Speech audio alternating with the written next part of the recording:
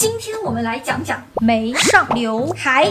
最近俺又重新剪回了眉上刘海，跟我以前那种一刀切的造型不一样。我觉得它搭配长发就是会更加的活泼，像一些帽子啊、发带什么的更容易做造型，而且整个风格也非常的多变。自从剪了这个发型之后呢，有很多小可爱会在评论里面问这些问题，所以今天呢我们就安排上什么样的人适合剪眉上刘海啊，眉上刘海要怎么样打理，以及我们要怎么样跟 Tony 去沟通。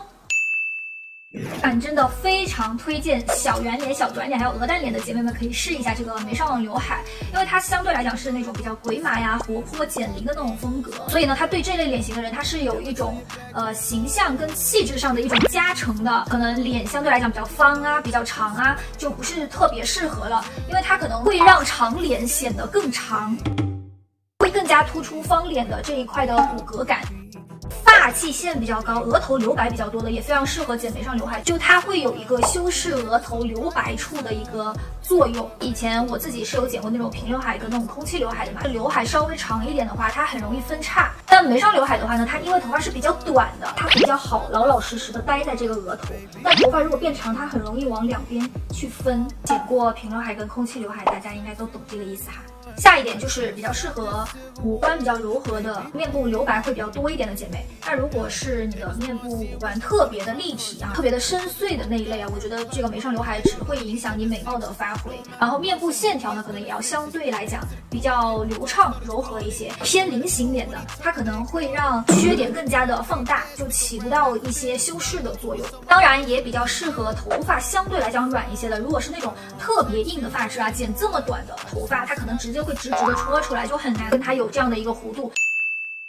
俺觉得跟 Tony 沟通这一点是一个大学问啊。首先你要找到网上的例图，跟他讲大概是要什么样的感觉。我觉得啊，哇，我这画的还挺可爱的耶。到那个眉上差不多一厘米的这个距离，让他不要一次性剪太多啊，先差不多剪到我这个长度，然后再慢慢的修。为了避免它剪得太平，还是要拿那个剪刀这样竖着去剪出一些层次感。千万不要剪太宽，到太阳穴这边就可以停下了。如果真的剪到了。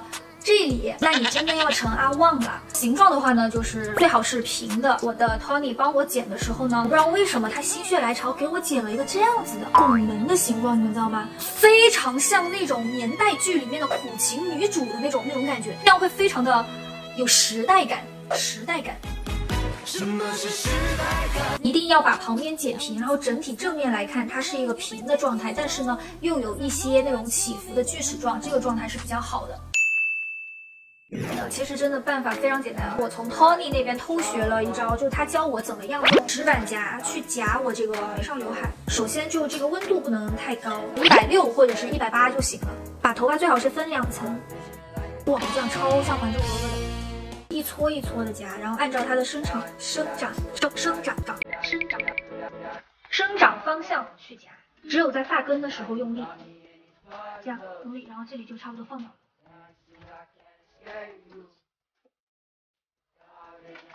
然后也是这样，拿一小撮，这么一小撮，然后往下，到这就放。千万不要这样一整片拿下来夹，你有没有发现一整片夹的那头发都是巨丑无比？